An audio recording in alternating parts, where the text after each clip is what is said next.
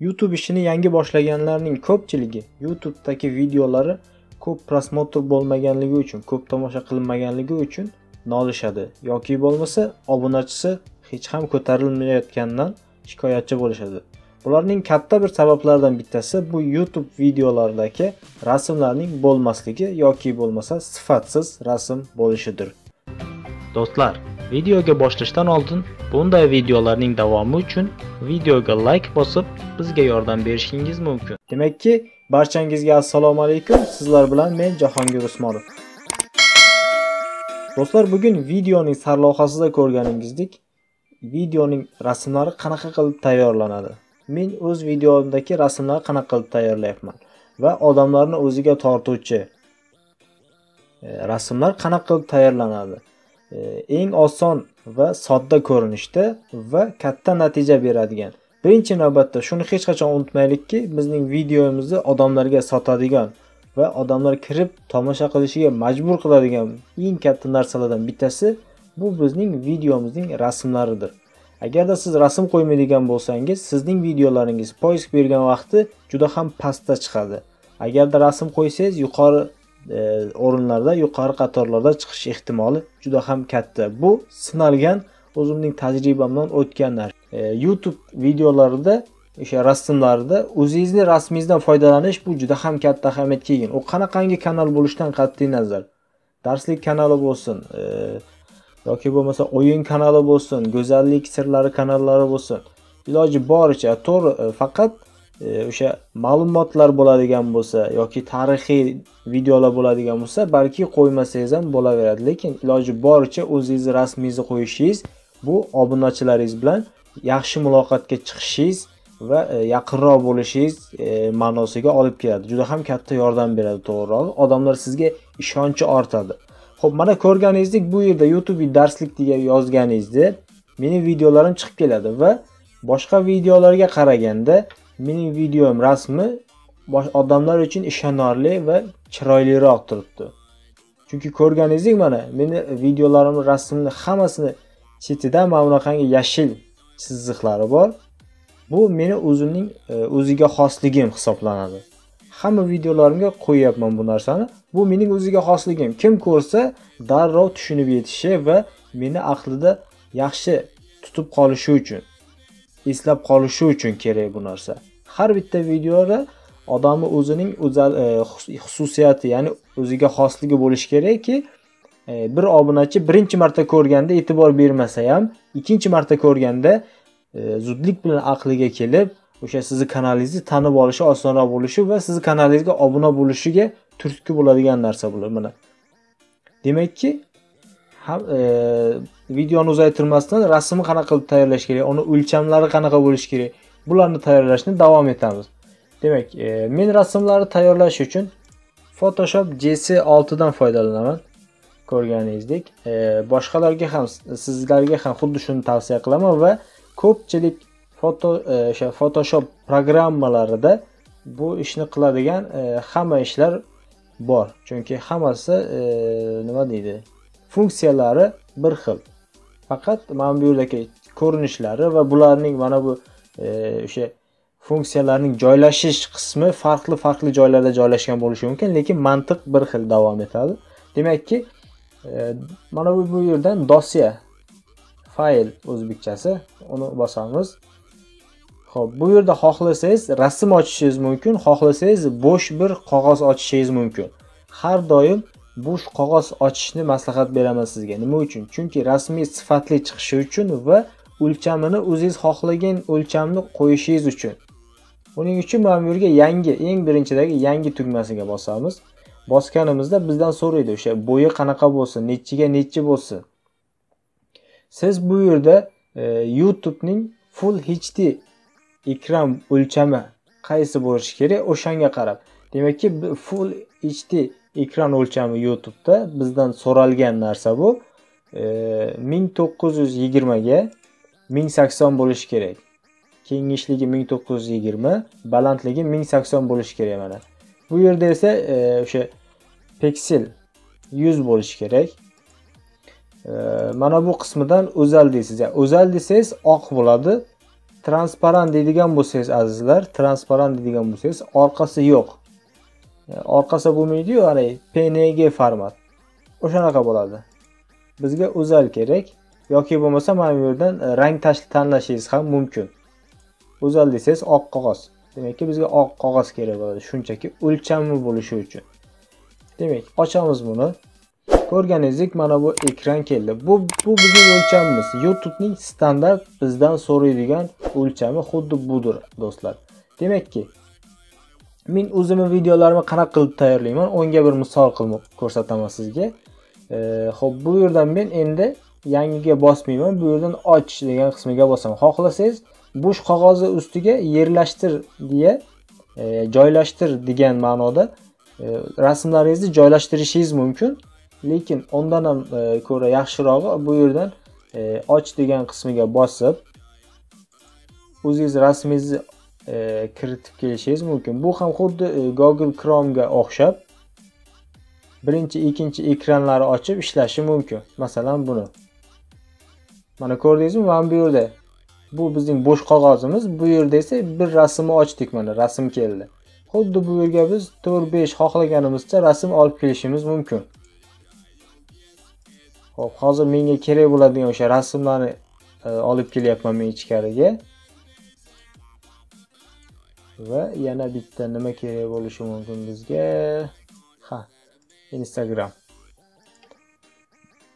Bu Instagram yozuvini ham internetdan oldim. Hozir e, qiladigan ishimizda kerak bo'ladi. Demak, demakki bizga kerak bo'lganlar bular. o'zimni rasmim, Instagram e, o'sha emblema ko'rinishi,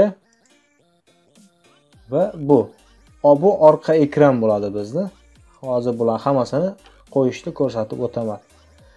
Demak aziz do'stlar biz birinchi navbatda orqa ekranimizni qo'yib olamiz mana bu eng birinchidagi e, bosqichni ko'rayotgan bo'lsangiz o'shani ustiga bir bossangiz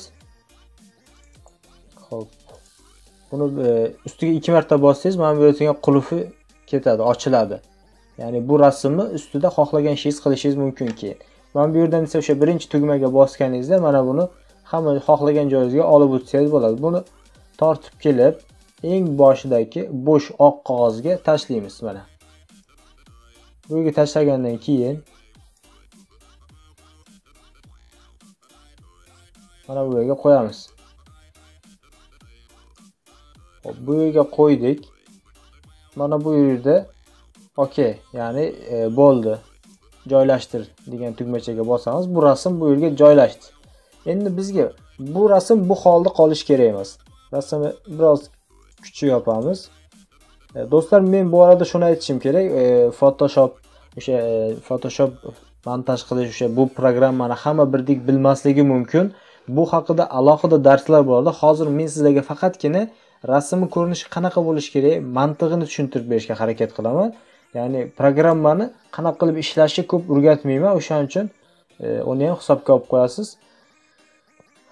Ho'p ya'ni qaysi programmadan qanaqa qilib rasm tayyorlasangiz ham xuddi man, e, mantiq shunaqa bo'ladi. Ya'ni e, shunaqa qilib kesasiz bu yer olib tashlaysiz bunaqa shunaqa bo'ladi bu yer bunaqa bo'ladi degan ma'noda. Ya'ni e, programmani o'rgatmayapman uni ham hisobga olib qo'yasiz. Demakki e, bizga kerak emas joylarni kesib tashlashimiz kerak.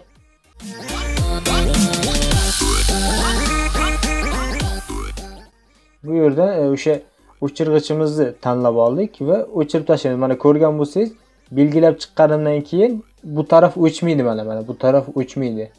Faqat men belgilagan narsani ichi o'chadi. Bu sizni adashib ketmasdan o'chirib olishingizga yordam beradi mana. Ko'rdingizmi? Top toza qilib oldik bu yerni ho'p endi yana xuddi mana shu yerga kelib e, o'sha tanlangan joyi bekor qildingiz. Mana yo'q bo'lib qoladi. Demakki biz o'zimizga kerakli joyni tanlab oldik. Endi zudlik bilan o'zim rasmimga kelaman. Bu yerni biroz e, yaqinlashtiraman shunchaki sizga misol bo'lishi uchun tezroq qilib o'tishga harakat qilaman. Bu yerda mana o'zimni tanlab chiqaman. Kesib olishim kerak men. Orqa taraf qolishi kerak faqat o'zimni kesib olishim kerak bu yerda.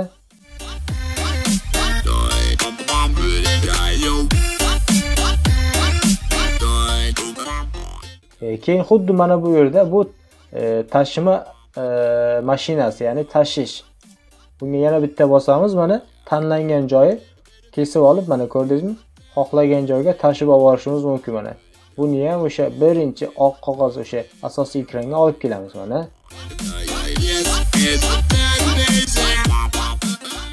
Mana ko'rganingizdek bu yerga o'zim rasmimni joylashtiraman xuddi mana bu shaklda. Orqa taraf qizil bo'lishining sababi do'stlar odamlarni o'ziga yaxshiroq jalb qilishi va odamlar o'ziga tortishi uchun. Bu narsadan foydalanaman men. E, buni joylashtirdik. Endi agarda xohlasangiz mana bu yerdagi orqa taraf ham bironta bir rang qilishingiz kerak lekin manimcha kerak emas.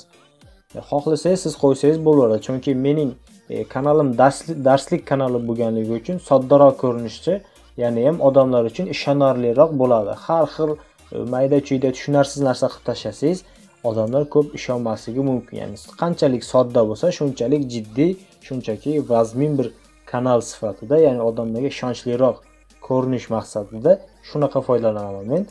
Ho'p bu yerdan esa endi instagram e, rasmini kesib olishim kerak. Ho'p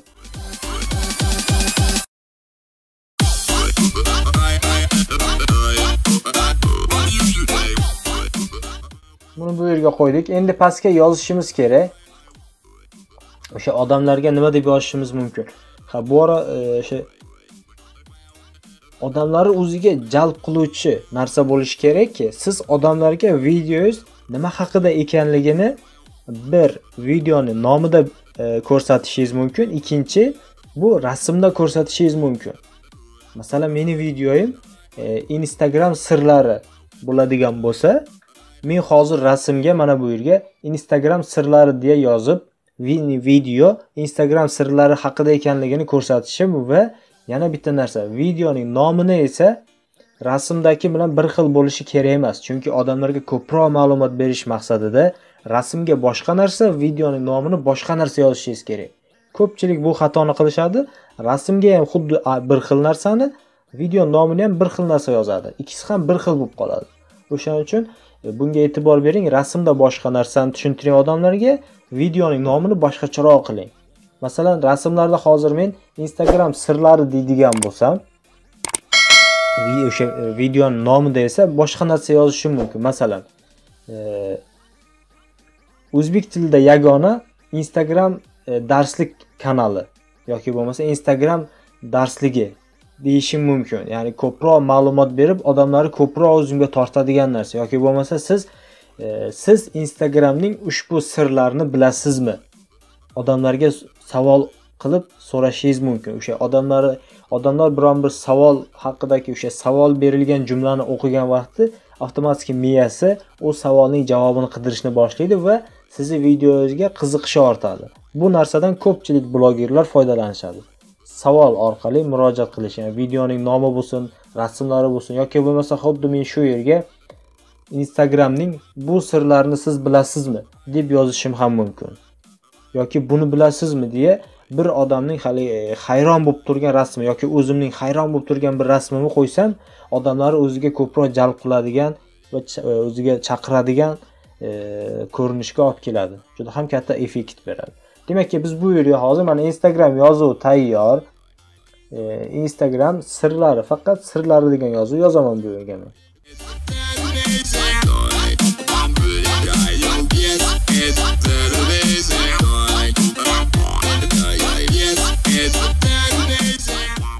Instagram sirlari. Ko'rganingizdek instagram bor. Sirlari deb yozganimizda mana bu chiqib keldi.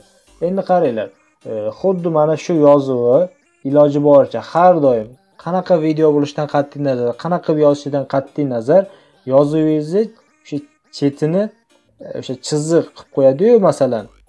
Masalan hozir men bunga qora chiziq e, qilamanki o'sha chetidan odamlarga yaxshiroq ko'rinishi uchun mana e'tibor bering. Ko'ryapsizmi? Qanchalik o'zgaradi mana? Ko'ryapsizmi? O'sha chetiga qora chiziq qo'yganimizda xuddi rasmni ichidan tashqariga tashqariga chiqib kelgandek bo'ladi. Ya'ni odamlar e'tiborni tortadi ko'zga yaxshi ko'rinadi yaxshi tashlanadi o'qilishi oson bo'ladi. Chunki ushbu videongiz odamlar o'sha video rasmi odamlarga kichkina bo'lib ko'rinadi. Masalan uzoqdan ko'rinadi. Qarang mana bunaqangi uzoqdan. Uzoqdan qaraganingizda ham mana bu sirlari aniq bo'lib turadi. Iloji bo'lsa mana bu o'zingizni rasmingizga ham xuddi o'sha narsani qo'yishingiz mumkin. Bu ranglarning qarama qarshilik sirlari darslari bor o'shanga qarab masalan hozir e, orqa plan oq oq bo'lganligi uchun men qora bilan chizib qo'ydim. Chunki oq bilan qora bir biriga qarama qarshi ranglar bo'lganligi uchun aniqroq ko'rinishiga sabab bo'ladi bu. Ho'p xuddi mana shunday man bu yerga kelgan holda man bu yerga ikki marta bosganimda bu ekran ochiladi. Bu ekrandan esa xuddi e, hozir qilgan ishni o'zim rasmim uchun qilishim mumkin. Masalan mana ko'rdingizmi hozir bu qora bo'lib qoldi. Bunga orqa taraf qizil va qora bo'lganligi uchun oq rangda qilishim kerak. Mana ko'ryapsizmi? Oq rangga qo'ysa qanchalik aniq bo'ladi. Ya'ni men qanchalik o'sha aniqroq bo'laman va odamlar bir qaragan vaqti odamlar ko'ziga yaxshiroq tashlanaman. Xuddi mana mana shu holda. Mana e'tibor qilsak hozir mana uzoqlashtirgan holat. Qanchalik rasm kichkina bo'lsa ham meni ko'rish shunchalik osonroq chunki oq chiziq bor chetida aniq bo'lib turibdi. Orqa tarafdagi orqa ekran bilan e, moslashib uyg'unlashib u rang rangi ichiga kirib ketmaganman. Ya'ni rangdan orqa plandan meni ayirib turadi. O'sha narsaga e'tibor berasiz azizlar. Ho'p undan keyin yana nima qilish kerak e, boya aytganimdek hammani o'zini o'ziga xosligi bor dedik to'g'rimi? Videoni boshida. Xuddi shunday mening o'zimga xosligim bu videoning chetidagi yashil ranglar dedik. Yashil chiziq. To'g'rimi? Uni qanaqa qilib chizishimiz mumkin? Mana bu yerdan bu rang.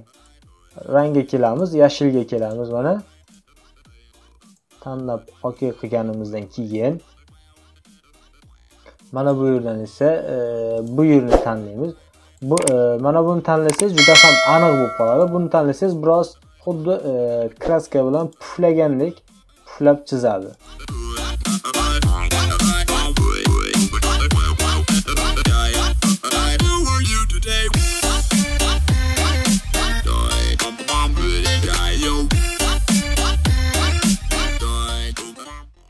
Demakki siz do'stlar men hozir bu yerda ko'p e'tibor bermadim. Siz o'zingiz buni yaxshiroq qilib yana ham chiroyliroq qilib e, e'tibor bilan qilishga harakat qilasiz. Men shunchaki sizga mantiqni ko'rsatishga harakat qildim bu yerda. Mana ko'rganingizdek rasmimiz tayyor holga keldi mana. Juda ham sodda va odamlarni o'ziga tortuvchi iloji boricha qizil e, sariq e, yoki bo'lmasa o'sha nima deydi qora bilan qizil aralashtirib oq bilan qora aralashtirib odamlarga ko'proq e, o'sha o'zini diqqatini tortadigan ranglardan foydalanish kerak. O'sha asosan qizil sariq yashil ranglardan foydalanganingiz ma'qulroq. Ho'p e, rasmimiz tayyor bo'lgandan keyin dosya qismiga kelib buni saqlanib qilishimiz mumkin mana.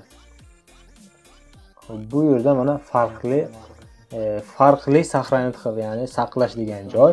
Bu yerdan o'sha saqlanib qiladigan joyingizni tanlaysiz. Mana bu yerdan rasm formati do'stlar. Rasm formatini esdan chiqarmanglar. Jpg bo'lishi kerak mana jpg qayd etdik сохранить qil deymiz mana ko'rganingizdek o'lchamini ko'rsatyapti. Mana bu maksimum o'sha eng katta darajada turibdi o'zi. Eng katta mana bu yeri qancha megabayt bo'lganligini ko'rsatadi. Bo'ldi rasmni sahrani qildik saqlab qo'ydik. Endi u rasmni xohlagan joyimizga xohlaganimizdek qo'yishimiz va foydalanishimiz mumkin. Ho'p demakki do'stlar sizlarga aytmoqchi bo'lganlarim bulardan iborat edi. E, o'ylaymanki ishingizga foydali bo'lgan e, video bo'lgandir. Agarda o'sha videolarning o'sha rasmlarning o'lchami qanaqa bo'lishini bilmaydigan bo'lsangiz hech ham qiyin emas. Google'ga kelasiz do'stlar. Google'dan esa Full HD deya yozasiz. Mana Full HD deya yozganingizda e, chiqishi kerak bu yerda ma'lumotlari. Xo'p, mana bu yerda bor ekan mana. Demakki, hozirgi YouTube'ning standart e, o'sha ekran o'lchamlari, ya'ni qabul qiladigan biz uchun eng yaxshi deya qabul qilgan standart ekran o'lchamlari mana bulardan iborat do'stlar mana. Mana bu aniqroq ekan. Mana ko'rganingizdek eng birinchisi bu HD. Faqatgina HD ko'rinishi. Mana 1280 ga 720 qilishingiz ham mumkin. Bu birinchi variant. Yana ham tiniqroq bo'lishini xohlasangiz ikkinchisi full hd 1920 ga 1080 xuddi bu narsalar do'stlar faqat video rasmlarida emas videoning o'zining o'lchamlari ham xuddi mana bu ekran o'lchamlarida bo'lishi kerak. Youtubening biz uchun tanlagan standart ekran bo'ylari bular. Va keyin hozir yangi chiqqan ekran e, o'lchamlaridan bittasi bu 4k 4k ya'ni e, yangi chiqdi. Bu eng maksimal full hd ekran bo'yuti hozir. Mana 3840 ga 2160 biz bundan ko'p foydalanmasak ham bo'laveradi chunki bu juda ham katta. O'sha ko'pchilikning e, telefonni ko'tarishi mumkin ko'tara olmasligi mumkin. yoki kompyuterdan o'sha ya'ni juda ko'p aham muhim ahamiyatga ega emas. Biz biz uchun mana bu o'rtadagi full hd yetarli. Yetadi va ortadi ham. 1920 ga 1080 buni bir yilga saqlanib qilib qo'ysangiz bu rasmda xohlagan vaqtingiz qarab e, qilishingiz mumkin. O'sha videolaringizni ham shu asosida tayyorlashingiz mumkin. Do'stlar videoning xuddi mana shu joygacha tomosha qilganlar bor bo'lsa agarda o'sha E, videoni oxirigacha ko'rib kelgan odam siz bo'ladigan bo'lsangiz va bu mavzu haqida biron bir muammoyingiz bo'ladi yoki sizga rasm kerak bo'ladigan bo'lsa bonus bor do'stlar. Sizga 5 ta rasm tayyorlab berishga tayyorman do'stlar. U qanaqa rasm bo'lishidan qat'iy nazar xohlasangiz youtube kanalining profil rasmi bo'lsin xohlasangiz youtube kanalining ona sahifasidagi e, orqa plan rasmi bo'lsin xohlasangiz videolaringizning rasmi bo'lsin. Demakki do'stlar barchangizga kattakon rahmat deb qolaman. Videoning mana shu oxirigacha tomosha qilgan obunachilarimizga alohida rahmat deb qolaman. Kanalimizda yangi bo'lsangiz obuna bo'lishni va qo'ng'iroqcha tugmachasini bosib qo'yishni unutmang. Va albatta videoga like bosib o'z fikringizni kommentariyalar qismida yozib qoldirishingizni istab qolardim. Hammangizga yaxshi kayfiyat sog' bo'ling salomat bo'ling azizlar.